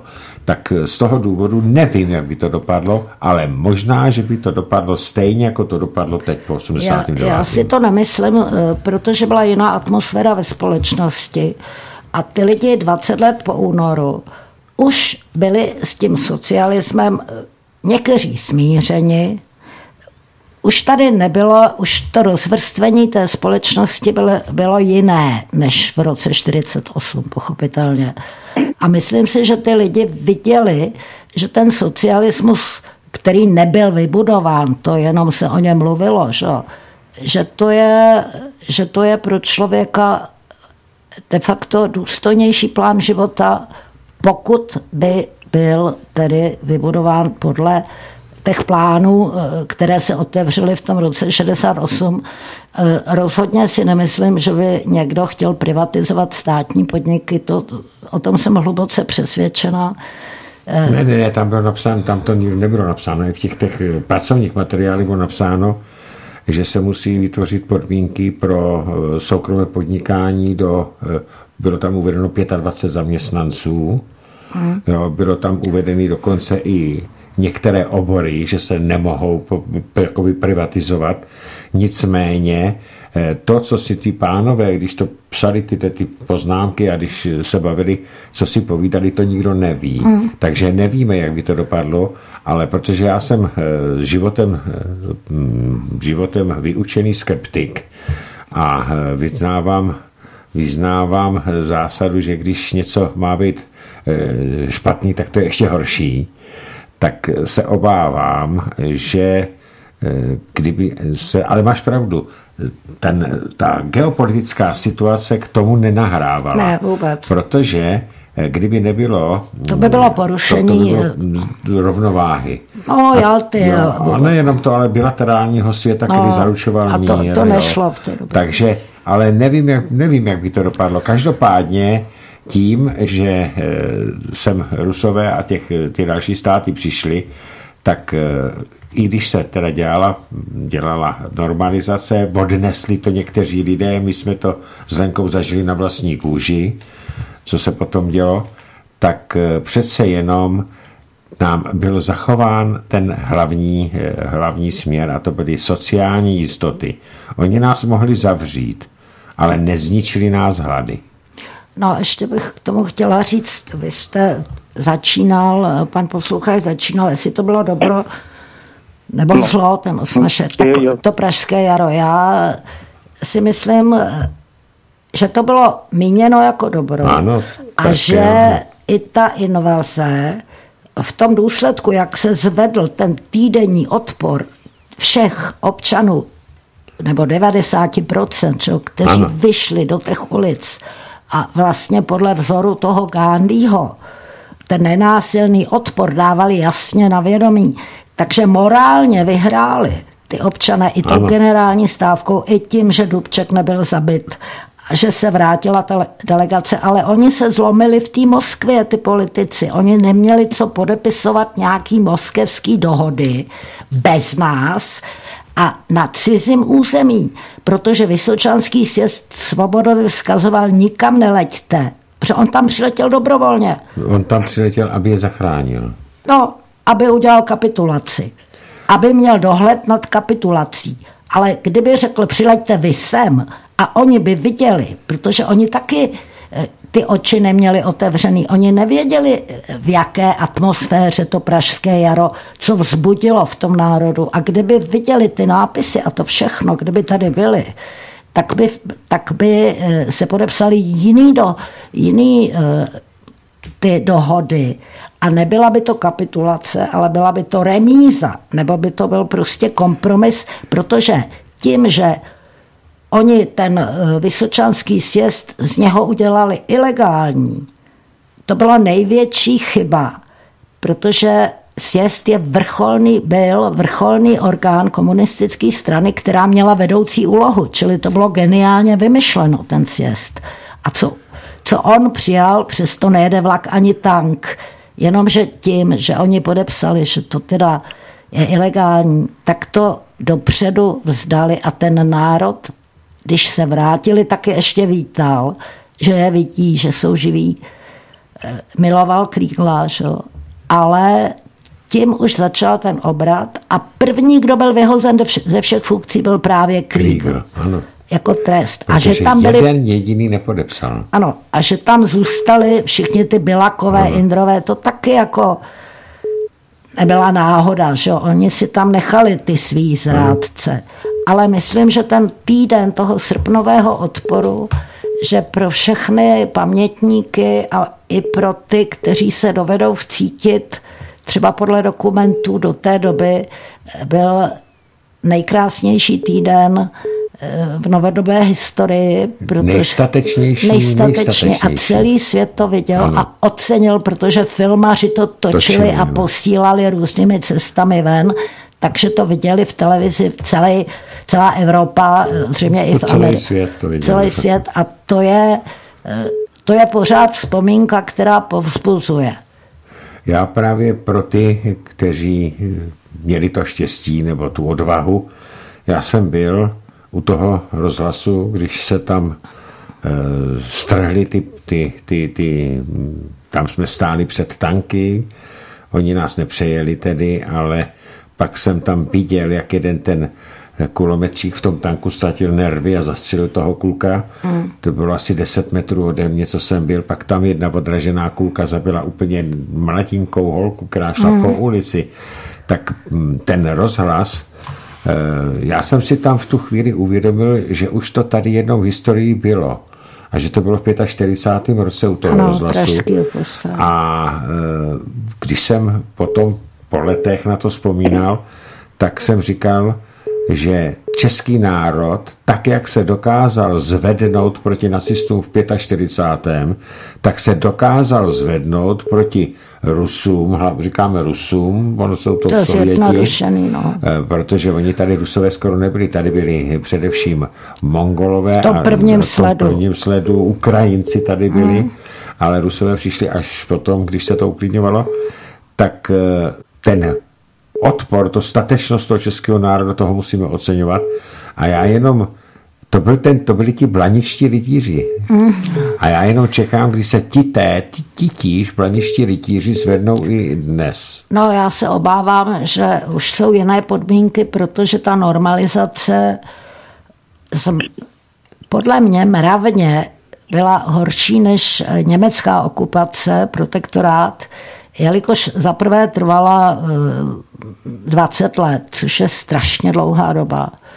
A ty zásahy té moci byly takové mělčí, jo, nepopravovalo se samozřejmě, ale bylo to rovnoměrně na všechny deptály, deptání, deptání, které rozklížily prostě, navíc dorostla další generace už vychovaná v, v tomhle a že ta normalizace opravdu byla záhuba i těch vzpomínek šo, na to pražské jaro.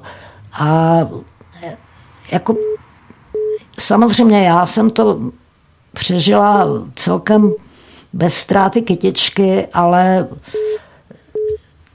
ale viděla jsem ty lidi okolo a i osobní přátelé, kteří zrazovali postupně a donášeli, takže to, ta pachuť té normalizace, to slovo už, eh, z toho mám osypky do dneška.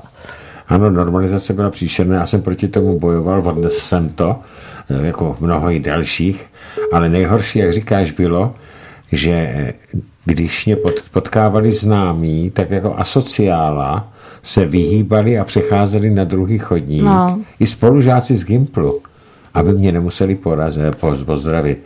A to je ta to je nejhorší na té normalizaci, že narušila tu mravní hodnotu českého národa, bych řekl. Hmm. Protože tu špinavou práci za okupanta dělali naši lidi. Ano. Oni vyhazovali u těch Víc, prověrek, ano. oni zvali k těm výslechům že? a, a tak, tak dále. No. Špicovali lidi a tak no. dále. Já jsem se chtěl zeptat právě na tohle poslední v tom závěru. Eh, je to teda pravda, že skutečně ty lidé, to byli naši, kteří eh, tvořili tady normalizaci? Ano. ano. Jo. Ty politici tak... ustoupili těma podpisem že, těch moskevských eh, protokolů. protokolů, ale pak to dělali naši lidi. No a jakým, Takhle jakým... je pravda, že ty špičky, jako můj otec, ty byly vytip, vytipovaný k likvidaci, taky on umřel šlo, během roku. Ale eh, a část lidí emigrovala. Ta emigrace, na to nesmíme zapomínat, že v průběhu dějin českého národa opakovaně probíhá emigrace a to v podstatě elity, bez úvozovek tentokrát. Ano, ano opravdové, a, skutečné. A, skutečné. Takže národ, který opakovaně ztrácí svou elitu, má ku podivu tu sílu, že si ji po každé z těch zbývajících zdrojů znova vytvoří. A je otázka, zda to jde do nekonečna, anebo to jednoho dne splaní úplně. To nevím. Zatím to vypadá, že planíme, planíme. Eh, a ještě poslední, eh, pokud já jsem dneska právě čet eh, článek o Španělsku a že vlastně ta situace, která je teď tam, takže se velice podobá předválečnému Španělsku a že vlastně jsem se uvědomil, že v každém tom národě jsou takový stěžení datumy. U nás bylo taky předváleční a zrod České republiky a Československé republiky ten 60. samozřejmě byl taky. Eh, našla byste v tomhle období nějaký paralely s tím 68. A už budu končit, jo. Děkuji moc za odpověď. No tak v českém národě ty paralely jsou je jich hodně, že od, od toho mistra Jana Husa my máme opravdu vepsáno do knize osudu nějakou zvláštní, takový zvláštní úkol, který se opravdu týká toho hledání pravdy. To, to si nevymyslel Palacký ani Masaryk, to tak zkrátka je, ale je, a opakuje se to, vemte si i to stavovské povstání, že jo, které vzniklo kvůli svobodě víry.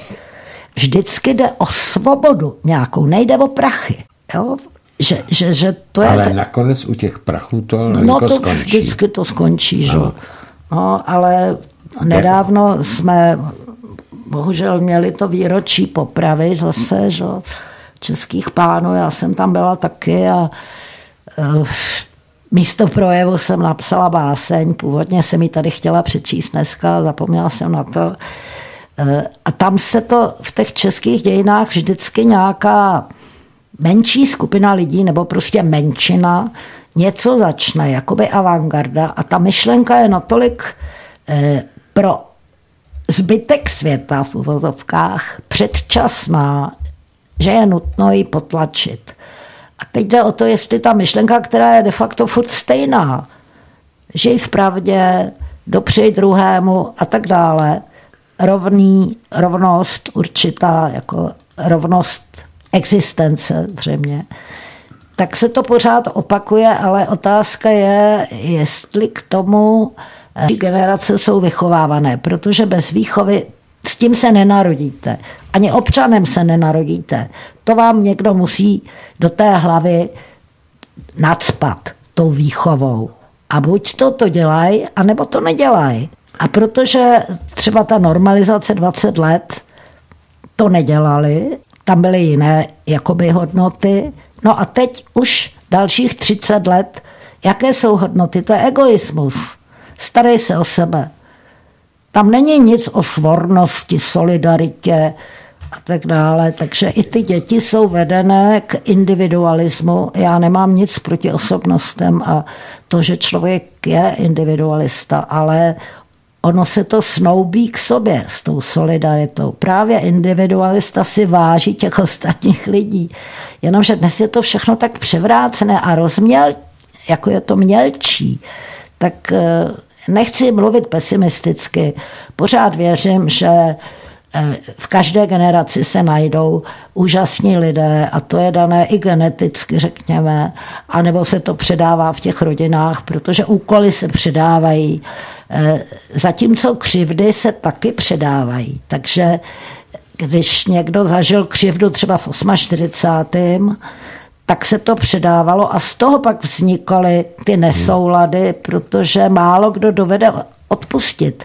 A vemte si třeba jiný postoj Václava Havla k Pražskému jaru, eh, který nebyl že, komunista a byl jakoby z ukřivděné rodiny, a postoj těch eh, vaculíků, kunderů, kosíků, procházků, kteří ten socialismus eh, skutečně chtěli budovat. Tím nemyslím pak ten paskvil, který z toho vznikl, ale ten demokratický socialismus, který ještě nikdy nebyl vybudován na téhle země koule. A já si myslím, a nebo, nebo o tom nevíme, nebo o tom nevíme, nebo to bylo ve zmizelých civilizacích, o kterých nic nevíme, ale já si myslím, že eh, že Kosík má pravdu, že to byl náš vklad do debaty, jak zachránit svět. Kapitalismus není žádné řešení a to není ani program. Ten socialismus, který tady byl, také nebylo řešení a právě proto musí přijít To něco. byl ideál. To byl ideál, ale ten, to, to, ten, ten, ta skutečnost se k tomu ani neblížila. E, nicméně mě tady e, ekvivalent takový řeknu.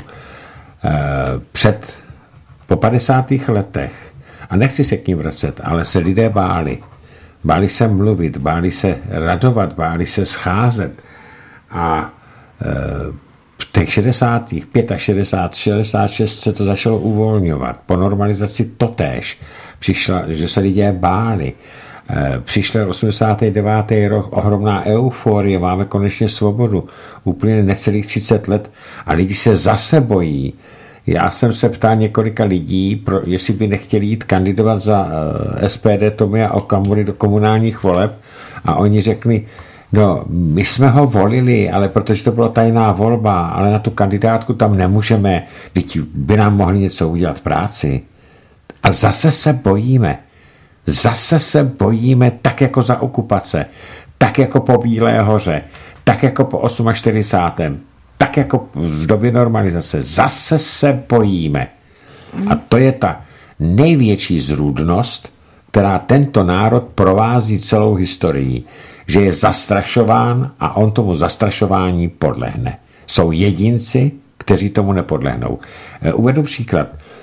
Eh, my jsme byli eh, v sobotu u kamarádů, u přátel u rakouských hranic a v, někde u Třeboně jsme se stavovali na večeři a viděl tam ten, ten, ten majitel té hospody jsme mu řekli, že nechceme EET a takovýhle, jo, a to. A já jsem tam nadával na Babiše, no a on se zeptal, co děláme, jak tak, tak viděl na autě celku svobodného rádia, tak jsem to říkali, ale to nepodstatné, co, co se chci říct. A on nám řekl, a nebojíte se, že se vám něco stane? Jo, vidíš to, to je přesně ono. Nebojíte se? My jsme říkali, no nebojíme. Žena říká, no nám se nejedná o peníze, tak mm, se nebojíme. Ale ona možná přijde doba, kdy nám to spočítají, jenomže to s tím musíme počítat zase i my. Hmm. Takže eh, takhle. Ještě, já... ještě bych se vrátila k tomu, jak jsme mluvili o tom socialismu, že to byl ideál a tak.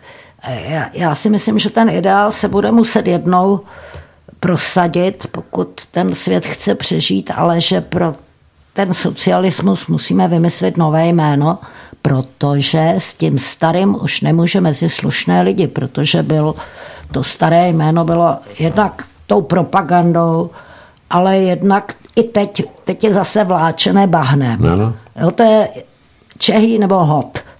Ale že by se teda naplnil ten obsah toho slova, to ještě tady nebylo. Ale zkrátka to slovo samo je sprofanované. To je sprofanované, no. no. Mám tady dotaz a telefon, takže mu telefonát. Eh, dobrý večer. Eh, dobrý večer. Tady je Milan. Eh, dobrý večer. Zdravím.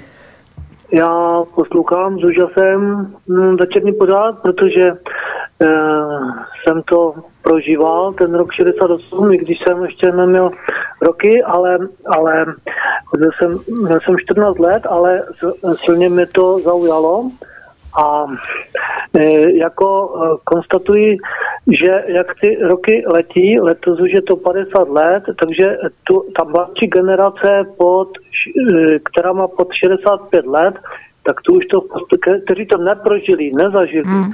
Tak už to v podstatě ani nebude moc zajímat. Jo? Je, je to asi jako pro nás 30 letá válka. No ale jeden takový moment mě zaujal, nevím, co si o tom myslíte.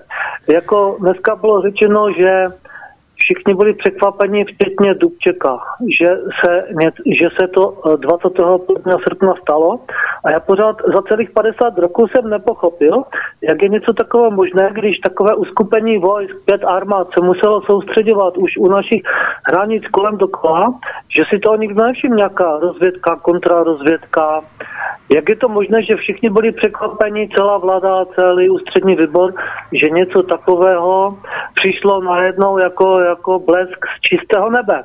Jako to pořád mi hlava nebere. Velice jednoduchá odpověď. Tady byly dvě cvičení, Šumava a Vltava, o tom jsme se s Lenkou Procházkou zmiňovali.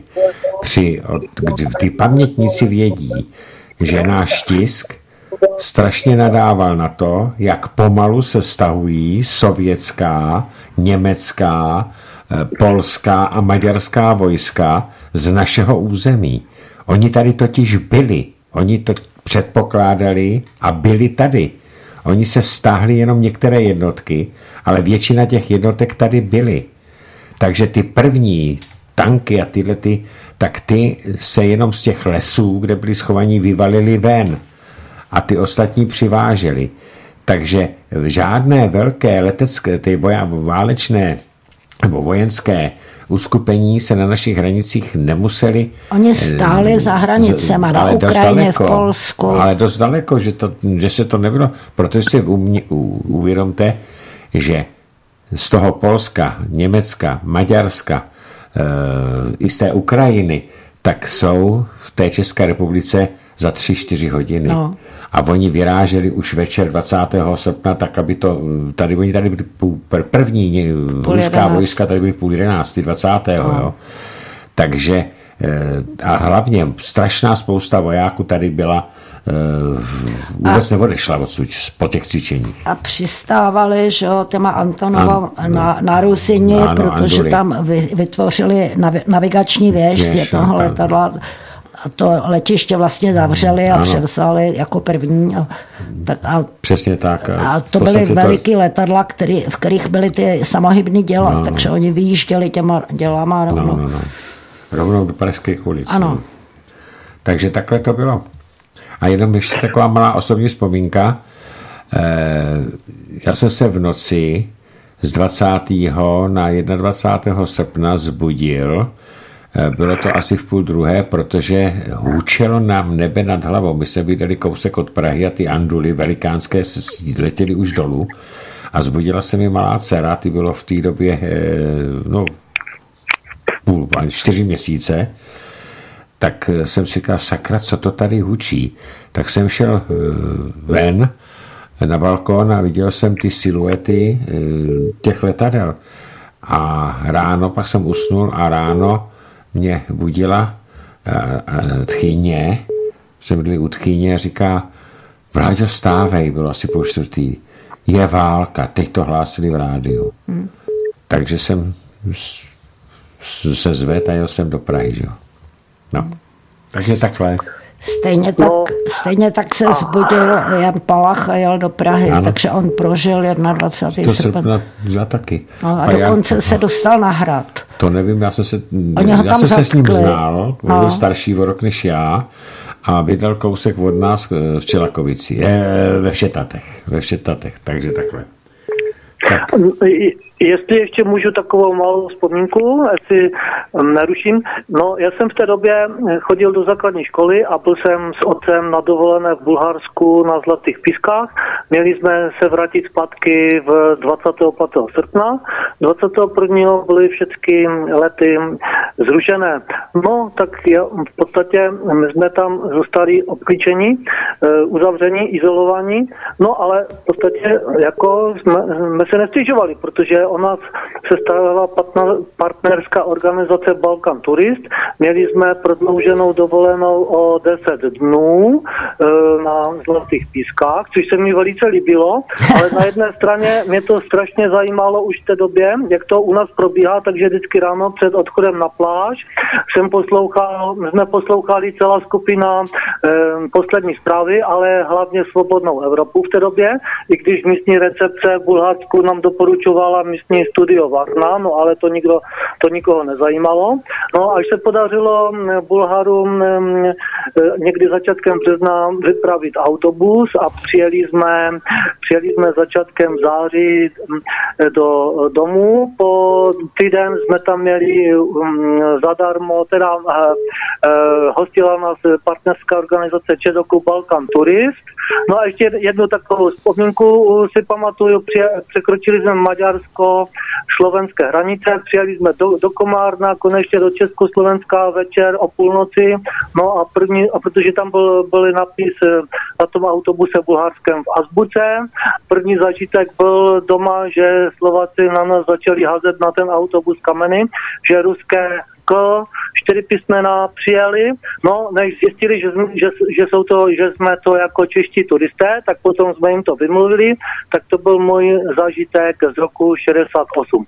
Tak já se s vámi loučím, e, další, Děkujem. předávám další zprávu. Tak, tak se mějte. A já jenom tady eh, dodám, že eh, posílá mi tady Sonja, co zjistila 17. července, už od 17. července 68 byla vojska připravena, všechna vojska připravena v Maďarsku pět kilometrů od hranic, kde byla soustředěná právě, od, jak jsem říkal, od toho cvičení Vltava a mnoho eh, těch sovětských jednotek zůstalo přímo u nás tady.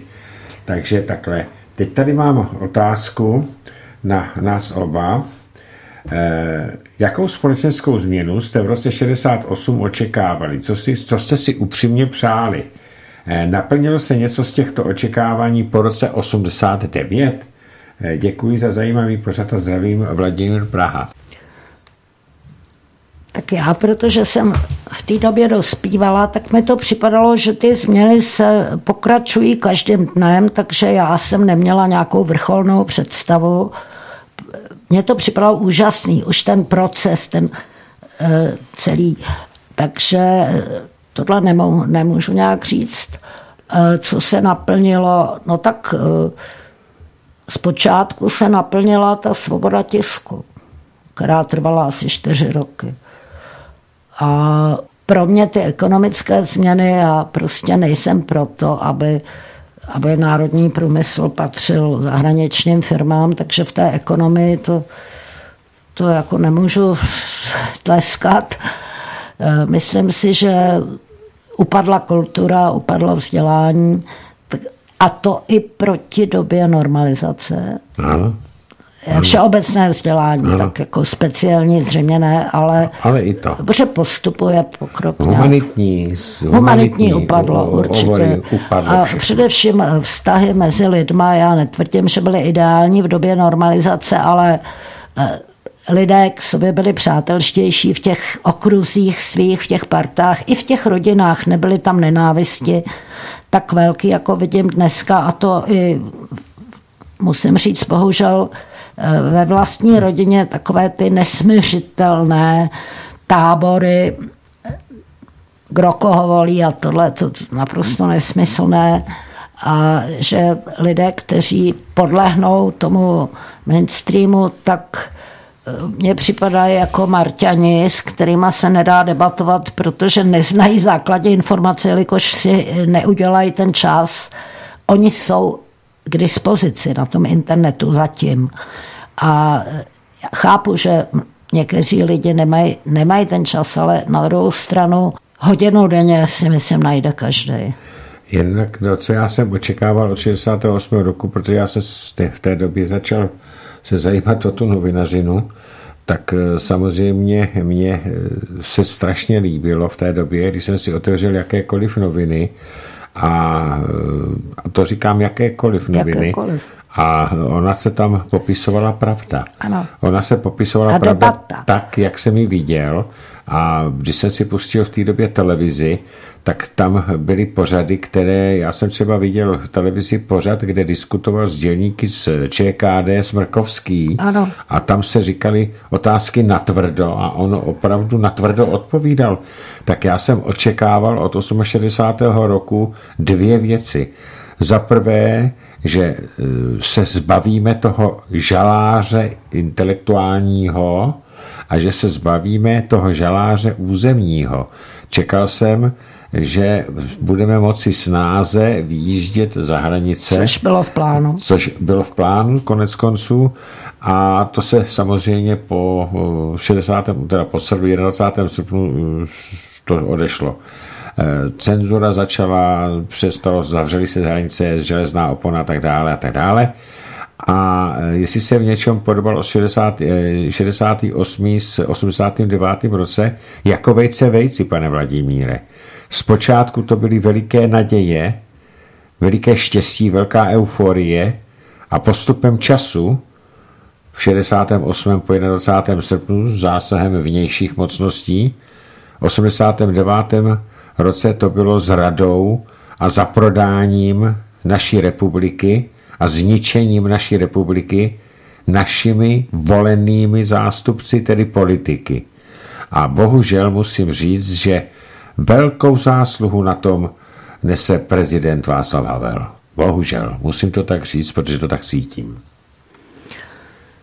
Takže no já, takhle. Já bych k němu nechtěla být tak krutá, protože patřil do okruhu mých přátel z doby normalizace, ale je pravda, že to byl jiný člověk jiný než člověk, potom. A, jinak a taky. nevím, co bylo jeho podstatou skutečnou.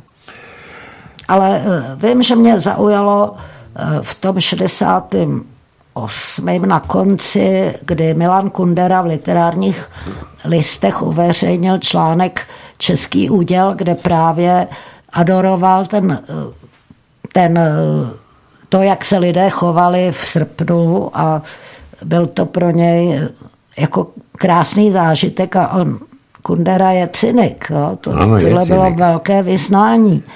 A Havel na to zareagoval jiným článkem, ten se jmenoval nějak jinak a vyšel v, tvá, v tváři. A tehdy jsem si říkala, to je divný, protože on jako by to nepochopil vůbec. A já jsem si říkala, má on vztah k tomu národu? Protože on to jako zesměšňoval. A jako já jsem si uvědomila, že on byl jinak úplně vychován. Vzešel z jiných poměrů. Z jiných poměrů. Ano. A takže to potom těžko mohl zastávat ty myšlenky, protože my jsme v tom roce 89 předpokládali, že se vrátíme k těm hodnotám toho pražského jara. Přesně tak, ano, to jsme očekávali To všichni. jsme očekávali. A ano. že samozřejmě tak 20 let o to jsme byli zkušenější, takže už to bude další level. Jenomže to by museli na tribunu pustit třeba Vaculíka, autora 2000 slov, ale jemu rovnou řekli v tom listopadu s vámi se nepočítá. Takže já, Stejně jako s Karlem Krylem. takže já jsem si řekla, že zřejmě eh, ta cesta půjde jinudy. Ano. A ještě na závěr, než skončíme, abych na to nezapomněla, zítra se koná eh, na Václaváku od pěti hodin nějaká mírová demonstrace, jelikož začíná jednání v Bruselu, jednání NATO summit. A tam bude přečtena, eh, tam bude přečtena výzva našim představitelům, aby dělali mírovou politiku a přestali pokládat Rusko za nepřítele a tak dále, že takže kdo to chce podpořit, od pěti hodin se tam budou střídat různé, různé organizace, například ne základnám a tak dále. A ten veřejný dopis oni už dostali, včetně prezidenta, který 11.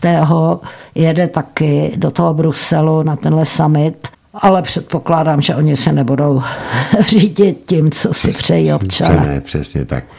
A Lenko, děkuji za upozornění a já tady mám taky jedno upozornění. Jestli nás poslouchá Libuška Čmuchařová z Ústí, tak přejeme naší velké kamarádce a především ohromné kamarádce Soně Zikmundové k jejím narozeninám všechno nejlepší a od Svobodného rádia teď na závěr si může poslechnout písničku od Jarka Nohavici Pane prezidente. Tak Takže, já taky přeju všechno nejlepší, Libušt. To bylo z dnešního pořadu Vážení posluchači všechno. Lenko, já ti děkuji, že jsi vážila cestu k nám. A já zase děkuji za pozvání. A e, doufám, že tady nejsi naposledy. Určitě. Takže, vážení posluchači, to bylo dneska vše a já vám přeji taky dobrou noc.